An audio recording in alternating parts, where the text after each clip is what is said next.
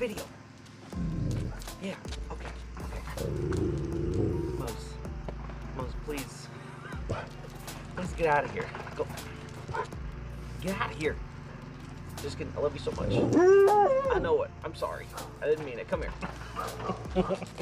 What's going on guys? I bought 150 cans of hairspray. Also, my neighbor's getting a new roof on, so there's a lot of noise in the background. I'm so sorry. But in this video, I'm gonna show you how I bought 150 cans of hairspray at Goodwill, what I paid for it, how much I think I can make, and it's pretty exciting. This is probably my best thrift find ever. So uh, buckle up, here we go.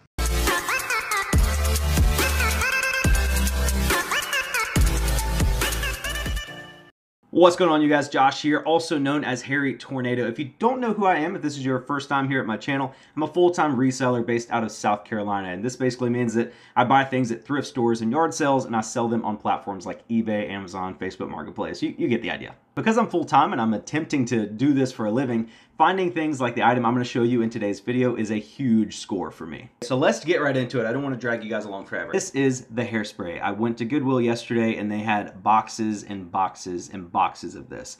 I saw it on the register. I went up and scanned the barcode and turns out this bad boy is selling for about $17 on Amazon. I'm gated, unfortunately. And on eBay, there's a bunch of different listings for like a single can, two cans, three cans, all the way up to like six cans. On average, this is selling for about anywhere from $15 to $17 per can on eBay as well. It also has a very high sell-through rate. It sells about four to six units per day on eBay. I'm not sure about Amazon, but the sales rank on Amazon was like 9,000 in beauty, which is very, very good. So when I was at Goodwill and I scanned this and I saw that it was such a, a, good product, I looked at the price tag and the Goodwill was only asking 92 cents per can. So I got all the boxes I could find and put them in a buggy and I wheeled them up to the cashier and I she lets me like keep stuff up there because uh, I don't want to push around a whole you know buggy full of hairspray the whole time I was there.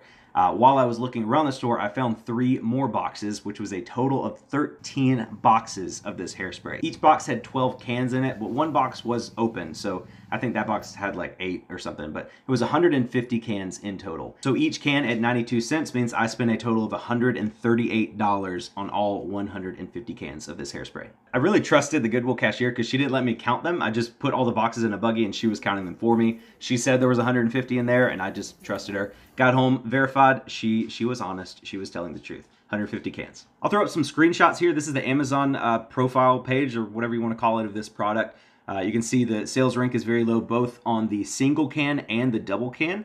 Uh, unfortunately, though, I am gated, probably because this is an aerosol, and I think it falls within that Amazon hazmat uh, category. So I don't think I'm going to be ungated on this anytime soon. So I think I will sell all 150 cans on eBay. Here is the eBay snapshot. You can see this has a very high sell-through rate. There was like three or four cans purchased today or yesterday, and like five or five to ten more purchased earlier this week.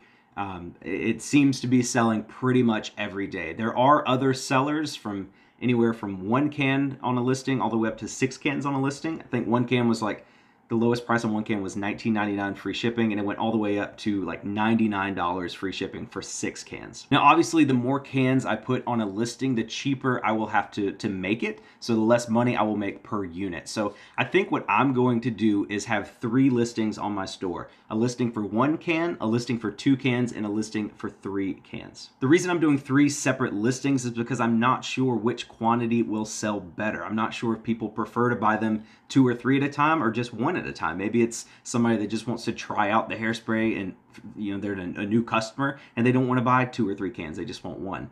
So I'm okay with selling one at a time. The shipping will be more per unit, but the profit will also be more per unit. Speaking of shipping, these are aerosol cans, so these will have to be shipped via USPS Parcel Select, which is the only USPS method that ships via ground. So when I put this listing up, I'm gonna have to exclude shipping to Alaska and Hawaii, and I cannot ship this via the global shipping program. I can only sell this hairspray to people in the contiguous continental US. Now we can get into the profits. I said on Instagram yesterday it should be about $2,500 worth of hairspray, and that is best case scenario. That's if I sell every single can for like 25 to 30 dollars with free shipping the parcel select is gonna cost a little bit depending on you know if i have to ship one can parcel select all the way across the country to california it's probably going to cost me like nine dollars or so so even if i sell a can for 25 dollars free shipping one can I'm not going to make that much money, maybe like 12, 12 bucks or so on per can. But I think, you know, on average, after fees, after shipping, i am hoping to profit between 14 and $15 per can.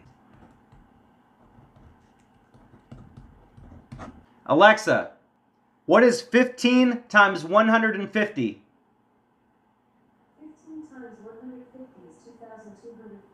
I don't know if you heard Alexa, but if I can sell each can and make a profit of $15 per can, that will give me a total profit amount of $2,250. Now I know the market can shift. I know other sellers can come onto this product. I don't think it's discontinued. I think it's just expensive. Uh, there are other sellers on eBay. There's a few sellers on Amazon. I'm not really worried about Amazon since I'm gated. So I know there's a lot of factors that come into play, but don't get don't lose sight of the fact that I just spent $138 on roughly $2,000 worth of a product that sells every single day on eBay and Amazon. These are the types of deals that full-time resellers need to rejoice in. This does not happen every day. I go to the thrift store every single day and I've never found a deal of this proportion. You know, I have a ton of stuff in my death pile. I could sit there and list and not, I could not go to the thrift store for the, a month and I probably wouldn't run out of stuff to list. FOMO, my fear of missing out, is fueled by things like this. I didn't need to go to the thrift store yesterday. I wasn't even, I was on a random part of town I'm not usually on. I just stopped by that Goodwill that I haven't been to in a while. And the very first thing I saw in that Goodwill were those cans of hairspray. Finds like that just fuel me to keep going to thrift stores every day. If you have a bunch of stuff in your death pile, you don't have to stop thrifting. You just have to be pickier with what you buy. I passed up on a bunch of shoes yesterday. I passed up on a bunch of like normal shirts and jackets because I could make money, but I wasn't making enough money to warrant bringing a whole bunch of other things into my inventory system. But this hairspray was a, no thought. It was it was a done deal. I was buying all of it. I think I've covered everything that you guys could could criticize about this fund. Like, oh, you got to ship it parcel select. I know I have to ship it parcel select. You cannot ship this first class or priority or anything like that. I know I can't ship it to Hawaii. I know I can't ship it overseas. But even with those limitations, I still think I will sell out of this hairspray within six months at, at the minimum. I'm just really excited to share this find with you guys. It's not every day that any resellers find deals like this. And and I just I'd want to tell somebody, somebody who cares. You know, I could tell my friends and family, but they're not resellers and they they don't really understand the significance of it. But you guys can appreciate this, and I'm just really excited to share it with with the community. Again, to reiterate, I spent $138 on all 150 cans. And let's let's say the market tanks and I can only get $10 per can. That's still $1,500 in profit from a $138 investment.